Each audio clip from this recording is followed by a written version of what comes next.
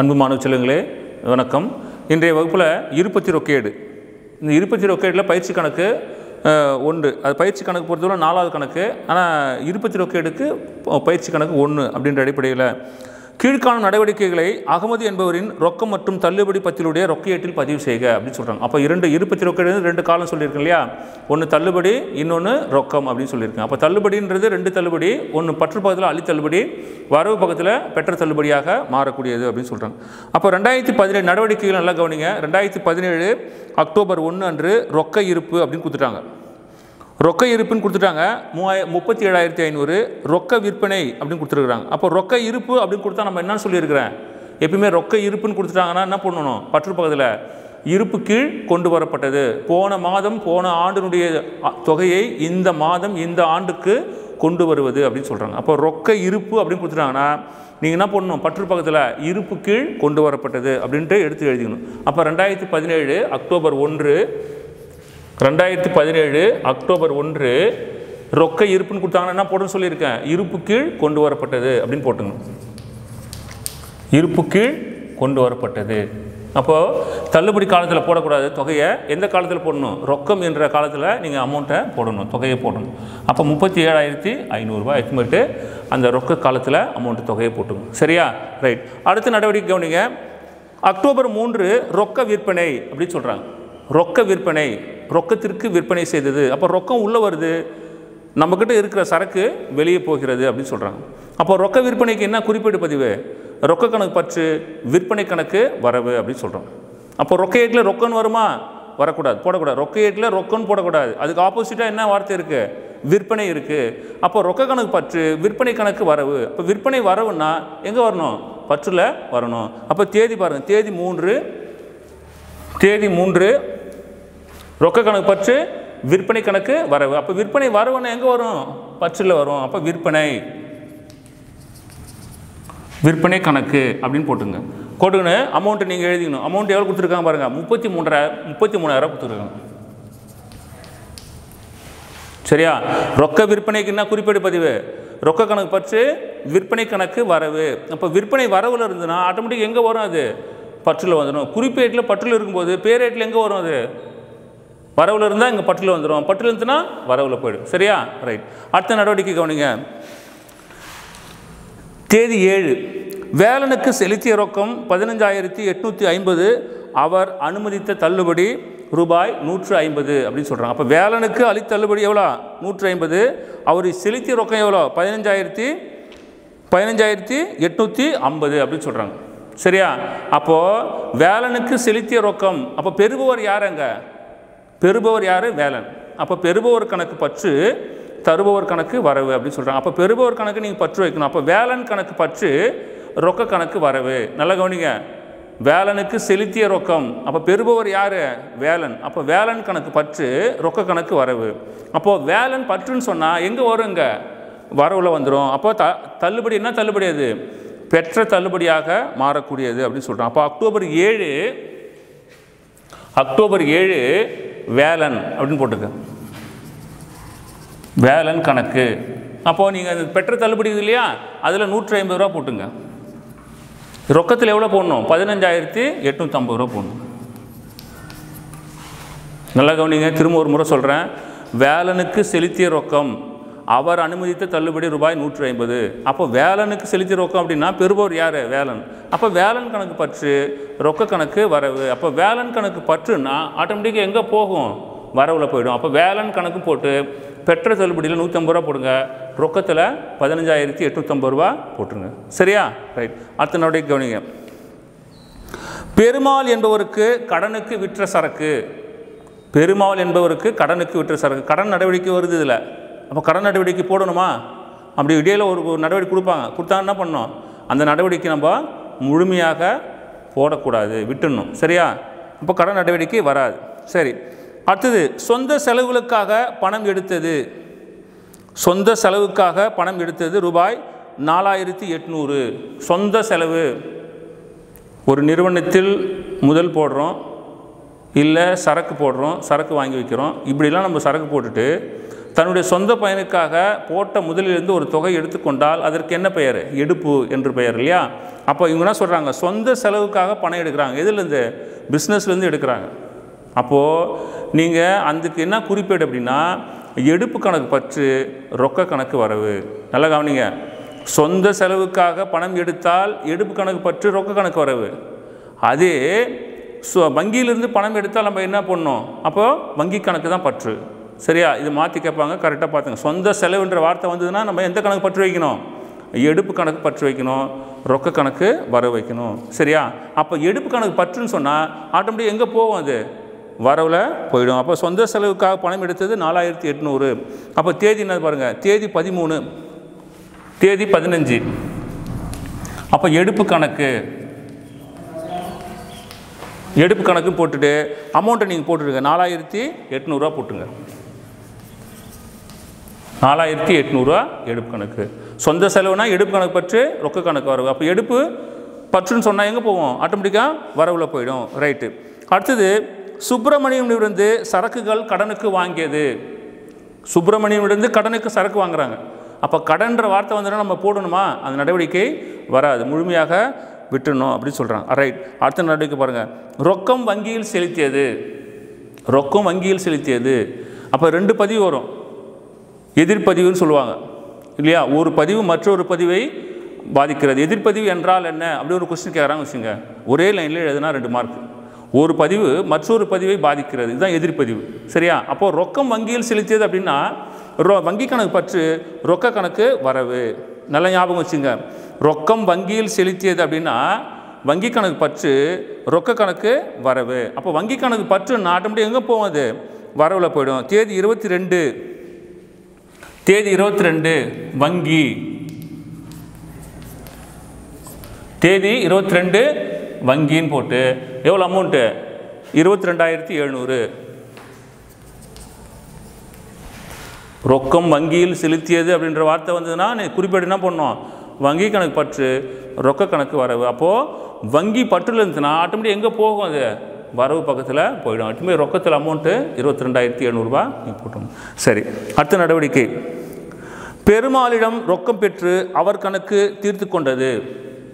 பெருமாளிடம் ரொக்கம் பெற்று அவர் கணக்கு தீ தீர்ந்து விட்டது. அப்போ பெருமாள் ஏற்கனவே என்ன பண்ணியிருக்காரு கடனுக்கு சரக்கு வாங்கியிருக்காரு. ஆனால் அவர் பணம் கொடுக்குறாரு.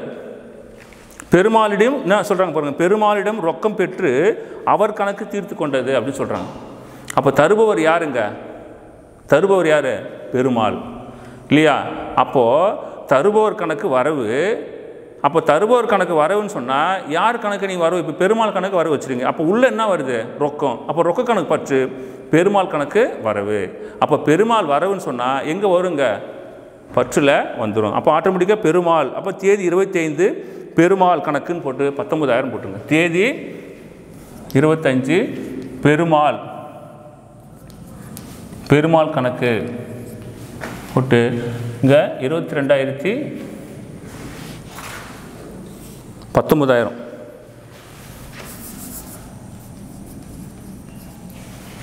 சரியா? அப்போ தருபவர் யார்? பெருமாள். அப்போ தருபவர் கணக்கு நீங்கள் வர வைக்கணும். உள்ளே என்ன வருது? ரொக்கம். ரொக்க கணக்கு பற்று பெருமாள் கணக்கு வரவு. அப்போ பெருமாள் கணக்கு வரவுன்னா ஆட்டோமேட்டிக் எங்கே வருங்க? பற்றில் வந்துடும் சரியா? அப்போ பெருமாள்னு போட்டு ரொக்கத்தில் நீங்கள் இந்த பத்தொம்பதாயிரத்தி எடுத்து போய் போட்டணும் ரைட் அடுத்த நடவடிக்கை பாருங்கள் அலுவலக செலவிற்காக காசோலை மூலம் ரொக்கம் எடுத்தது. அலுவலக செலவுக்காக காசோலை மூலம் அப்படின்னு சொல்கிறாங்க சொந்த செலவு அப்படின்ற வார்த்தை வந்து நான் என்ன சொல்லியிருக்கிறேன்? ஏற்கனவே நடவடிக்கையில் எடுப்பு கணக்கு பற்று ரொக்க கணக்கு வரும்னு சொல்லியிருக்கிறேன்.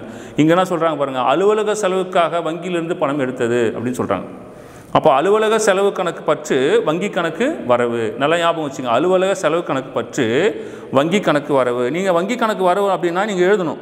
சரியா? அப்போ வங்கி வரவு இருந்துச்சுன்னா எங்கே போட்டோம் ஆட்டோமேட்டிக்காக ஆட்டோமேட்டிக்காக எங்கே போய்டும்? பற்றில் போட்டுடணும். அப்போ நீங்கள் போட்டுங்க. பற்று கணக்கு பற்றில் தேதி இருபத்தி ஆறு வங்கி கணக்குன்னு போட்டு பதினேழாயிரத்தி ஐநூறுரூவா போட்டுருங்க. இருபத்தி ஆறு தேதி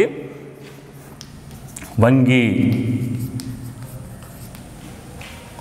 இப்போ இருபத்தி ஆறாயிரத்தி ஐநூறு. சாரி இருபத்தி ஆறு பதினேழாயிரமா? பதினேழாயிரத்தி ஐநூறு. சரியா? அலுவலக செலவிற்காக பணம் எடுத்தது அப்படின்னு அலுவலக செலவு கணக்கு பற்று வங்கி கணக்கு வர வங்கி கணக்கு வரவுன்னு சொன்னால் ஆட்டோமேட்டிக் எங்கே வரும்?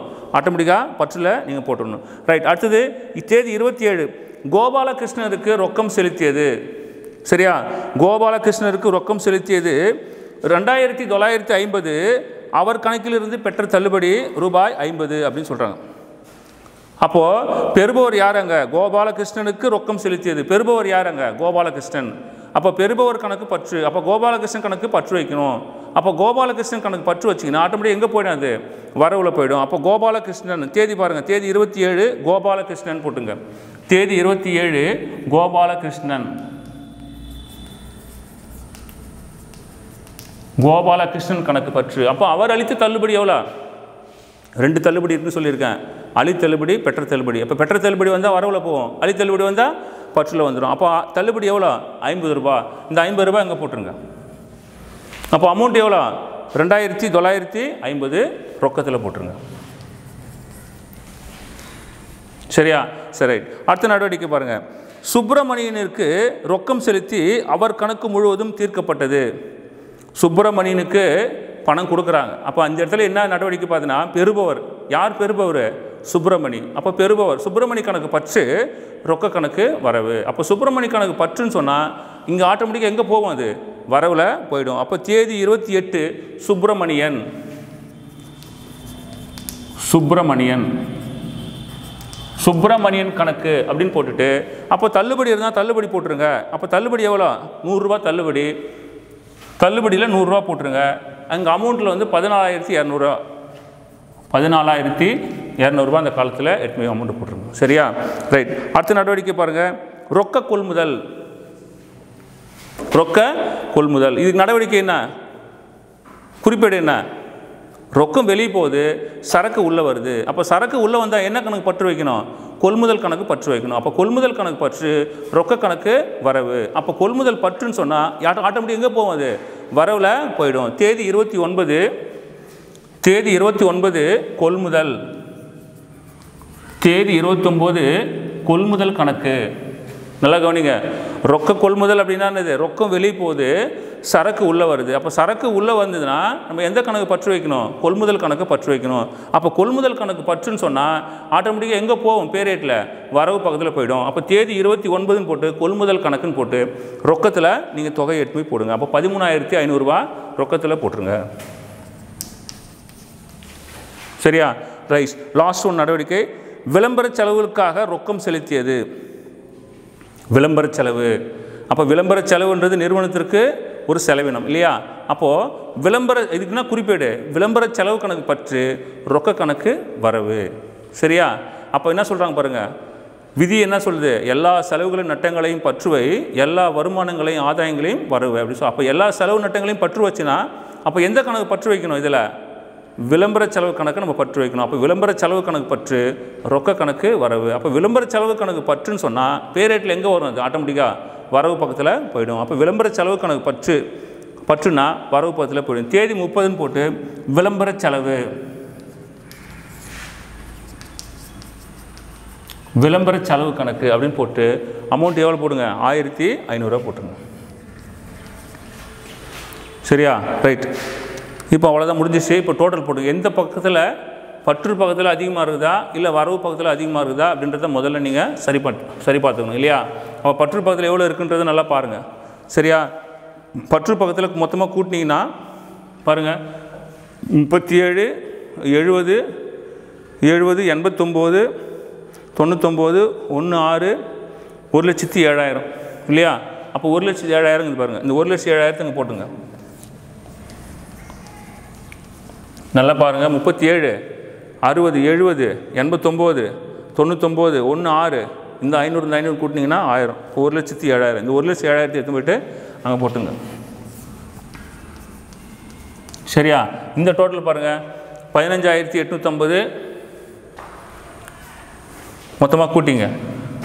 பதினஞ்சாயிரத்தி எட்நூற்றம்பது ஒரு நாலாயிரத்தி எட்நூறு ஒரு இருபத்தி ரெண்டாயிரத்தி எழுநூறு ஒரு ரெண்டாயிரத்தி தொள்ளாயிரத்தி ஐம்பது ஒரு பதினாலாயிரத்தி இரநூறு பதிமூணாயிரத்தி ஐநூறு ஒரு ஆயிரத்தி ஐநூறு. ஜீரோ அஞ்சு பத்து மிச்சம் ஒன்று பதினொன்று பதிமூணு இருபத்தி ரெண்டு இருபத்தொம்போது முப்பத்தி ஏழு நாற்பத்தஞ்சுக்கு அஞ்சு நாலு ஏழு எட்டு பன்னெண்டு பதினாலு பதினாறு இருபது இருபத்தஞ்சுக்கு அஞ்சு ரெண்டு நாலு ஆறு ஏழு. எழுபத்தஞ்சாயிரத்தி ஐநூறு. சரியா? அப்போ ஒரு லட்சத்தி ஏழாயிரத்தில் நல்லா கவனிங்க ஒரு லட்சத்தி ஏழாயிரத்தில் எழுபத்தஞ்சாயிரத்தி ஐநூறுரூவா கழிச்சிருங்க. Seventy five five hundred கழிச்சிருங்க.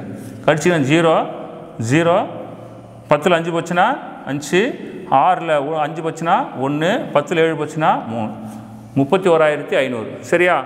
ஒரு லட்சத்தி ஏழாயிரத்தில் எழுபத்தஞ்சாயிரத்தி ஐநூறுரூவா கழிச்சிருங்க. கழிச்சிட்டிங்கன்னா ஜீரோ ஜீரோ பத்தில் அஞ்சு போச்சுன்னா அஞ்சு ஆறில் அஞ்சு போச்சுன்னா ஒன்று பத்தில் ஏழு போச்சுன்னா மூணு. முப்பத்தோராயிரத்தி ஐநூறு. சரியா? எந்த பக்கத்தில் கம்மியாக இருக்குது வரவு பகுதியில் கம்மியாக இருக்குது இல்லையா? அப்போ வரவு பகுதியில் தொகை குறைவாக இருக்கும்போது ஆட்டோமேட்டிக் என்ன போடணும்? இருப்பு கீழ் இறக்கப்பட்டது. இங்கே போடுங்க. இருப்பு கீழ் இறக்கப்பட்டது.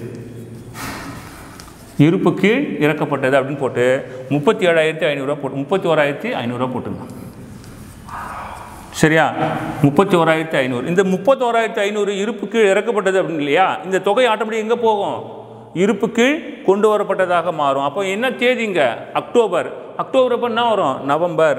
நவம்பர்னு போட்டு இங்கே ஒன்றுன்னு போட்டு இருப்பு கீழ் கொண்டு வரப்பட்டது. முப்பத்தி ஓராயிரத்தி ஐநூறு. சரியா? அப்போ ஏற்கனவே நம்ம தனிப்பத்தி கையில் போடுறோம் இல்லையா? அப்போ தனி மனிதனுடைய வியாபார நடவடிக்கை. இதுன்றது இரண்டு காலங்களை குறிக்கிறது. இதில் என்ன பண்ணும்? இதுவும் தனி மனிதர் ரொக்கையீடு தான். இருந்தாலும் இதில் ரெண்டு விதமான காலங்களை குறிக்கூடியதாக இருக்குது ஒன்று அழி தள்ளுபடி இன்னொன்று பெற்ற தள்ளுபடி. அப்போ பெற்ற தள்ளுபடி என்ன சார் பண்ணணும்? அப்படின்னா இந்த தொகையை அப்படியே கூட்டி கீழே போட்டுருங்க. அவ்வளோதான் வேறு எதுவும் செய்யக்கூடாது. அப்போ நூற்றம்பது இரநூறு முந்நூறுரூபா இந்த இடத்துல எதுவுமே இல்லை. அதனால் இங்கே டேஷ் போட்டுருங்க. வேறு எதுவும் இல்லை. இதுதான் இரண்டு காலங்களை குறிக்கக்கூடிய கணக்கு. சரியா? பற்றுப்பகுதியில் எவ்வளோ இருக்குது ஒரு லட்சத்தி ஏழாயிரம்.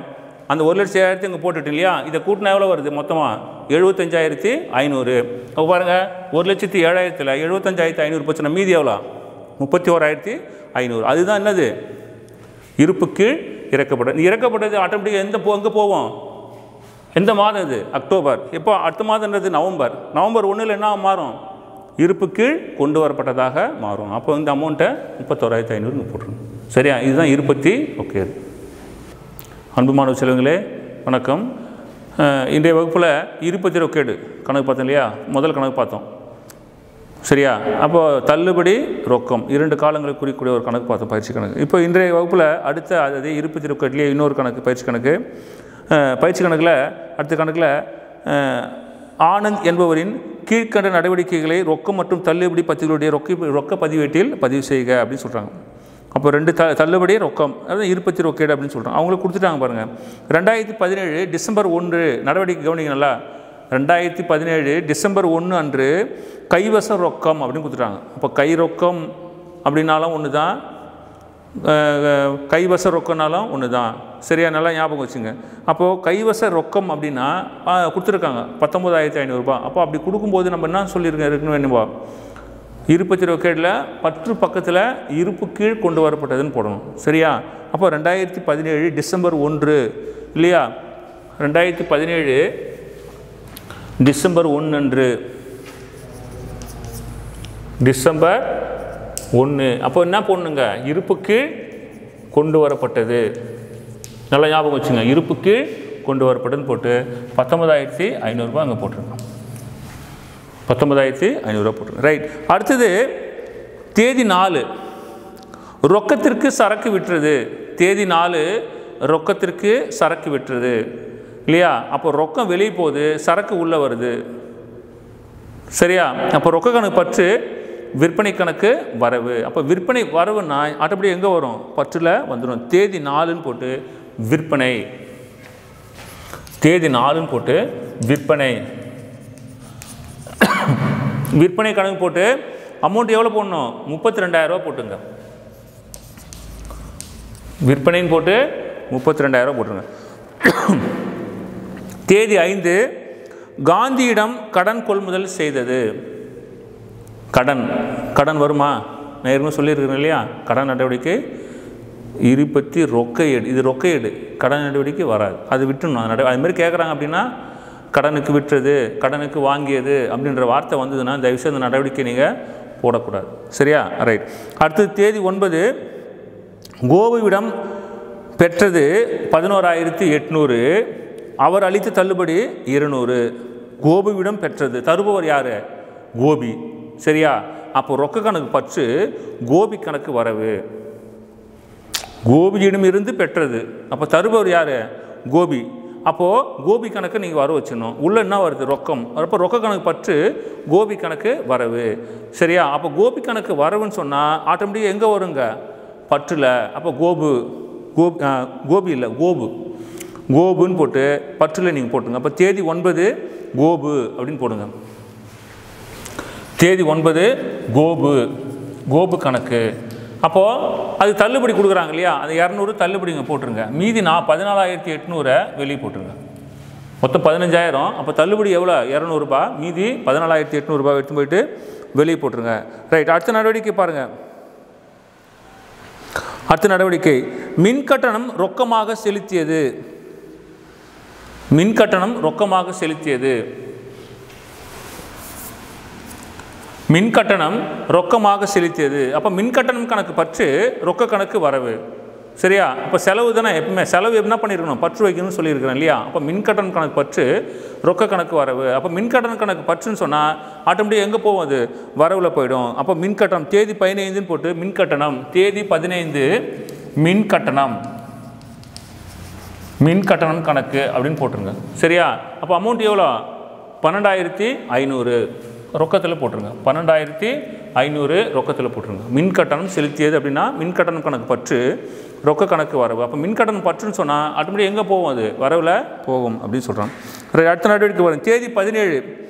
ரொக்கம் செலுத்தி கணிப்பொறி மற்றும் அதன் இதர பாகங்களை வாங்கியது. ரொக்கம் செலுத்தி கணிப்பொறி மற்றும் இதர பாகங்களை வாங்கியது அப்படின்றாங்க. அப்போ ரொக்கம் வெளியே போகுது.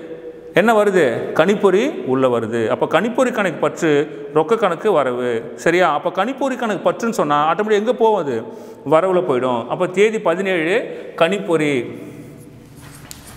தேதி பதினேழு கணிப்பொறி. கணிப்பொறி கணக்கு பற்று. சரி கணிப்பொறி கணக்குன்னு போட்டு வரவில் அமௌண்ட் வந்து பத்தொம்பதாயிரத்தி சாரி பதினாறாயிரத்தி எட்நூறு அமௌண்ட் போட்டுருங்க. பதினாறாயிரத்தி எட்நூறு சிக்ஸ்டீன் தௌசண்ட் எயிட் ஹண்ட்ரட் வெளியே எடுத்துமே போட்டுருவேன்.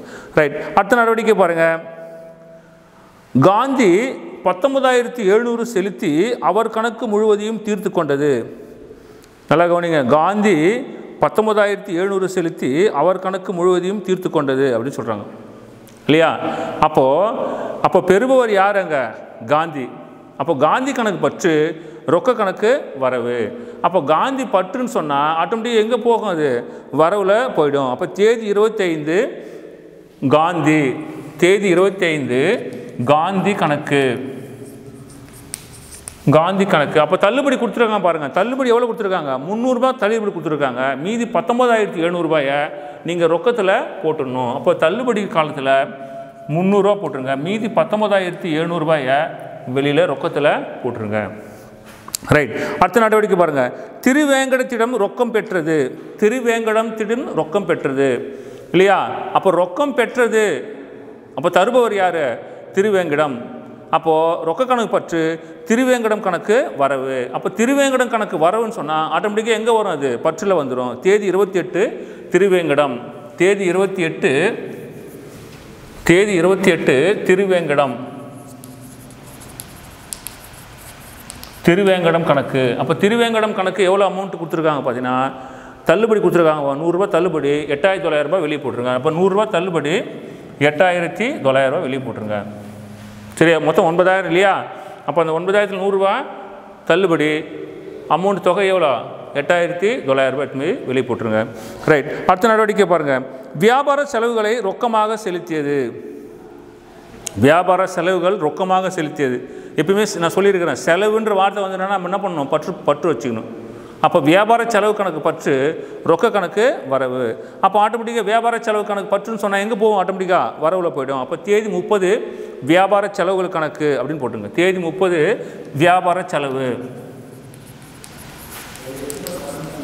வியாபார செலவு. சரியா? அப்போ அமௌண்ட் எவ்வளோ? மூவாயிரத்தி ஐநூறுரூவா போட்டுருங்க. சரியா? அவ்வளோதான் நடவடிக்கை. இப்போது க்ளோஸ் பண்ணிங்க அவ்வளோதான் நடவடிக்கை. எந்த சைடில் அதிகமாக இருக்குன்னு பாருங்கள் முதல்ல. அப்போ இந்த சைடில் அதிகமாக இருப்பாருங்க பாருங்க. பத்தொம்போதாயிரத்தி ஐநூறு பாருங்க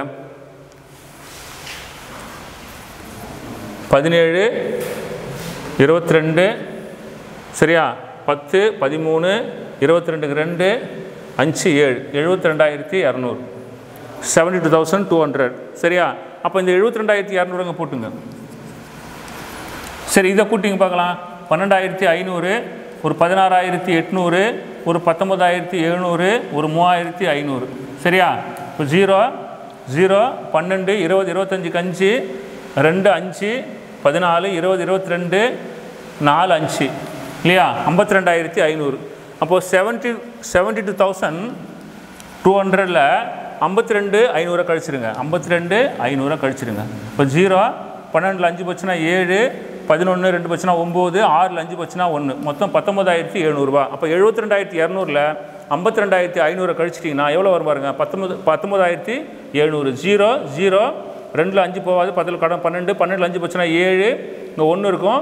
ஒன்று கடன் வேணால் பதினொன்று பதினொன்று ரெண்டு போச்சுன்னா ஒன்பது ஆறு ஆறில் அஞ்சு போச்சுன்னா ஒன்று பத்தொம்பதாயிரத்தி எழுநூறு. சரியா? இந்த பத்தொம்பதாயிரத்தி எழுநூறு அங்கே போட்டுங்க. இருப்பு கீழ் இறக்கப்பட்டது. இறக்கப்பட்டதுன்னு போட்டு இங்கே பத்தொன்பதாயிரத்தி எழுநூறுவா போட்டுங்க. சரியா? இறக்கப்பட்டது ஆட்டோமேட்டிக் எங்கே வரும்னு சொல்லியிருக்கிறேன் நான். எங்கே வரும்னு சொல்லியிருக்கேன். இருப்புக்கு கொண்டு வரப்பட்டது. இந்த மாதம் டிசம்பர். அப்போ டிசம்பர் அப்படின்னும் போது ஜனவரி. இப்போ ஜனவரி ஒன்றுன்றது ரெண்டாயிரத்தி பதினெட்டு. ரெண்டாயிரத்தி பதி ஜனவரி ஒன்று அங்கே இறக்கப்பட்டதுன்னா ஆட்டோமேட்டிக் எங்கே வரும்? இருப்புக்கு கொண்டு வரப்பட்டதாக மாறும். இல்லையா? எவ்வளோ பாருங்கள் பத்தொன்பதாயிரத்தி எழுநூறு. இல்லையா? இதுதான் ஆன்சரு சரியா? இருப்பு திருவுக்கேட்டில் இப்படி தான் நீங்கள் போடணும். ரெண்டு காலங்களை கொண்டு இப்படி தான் கணக்கு போகணும் சரியா? சரியாக பார்த்துங்க Peace.